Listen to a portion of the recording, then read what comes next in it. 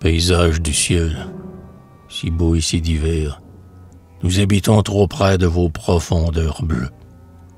L'homme ne comptera ni les jours ni les lieux s'il devait vous chercher au bout de l'univers. Nous vous connaissons trop, couchant, aube fleurie, habitude à blaser nos yeux sur vos beautés. Et c'est en vain que sur les champs et les cités, vous déployez l'azur et l'or de vos féeries. C'est en vain que, trouvant la nuit à coups des pieux, le jour, tel un vanneur, sort du forêt nocturne, et sur les gailles des monts essuyant son coturne, se dresse brusquement, bondit dans l'air en feu. Blanc Cyrus qui broutait l'aérien package, lune en fleurs, astre d'or, il faut comme ce soir, pour forcer nos regards à vous apercevoir, quelque fut solitaire au bord d'un marécage. Il faut la frissonnante immensité des nuits.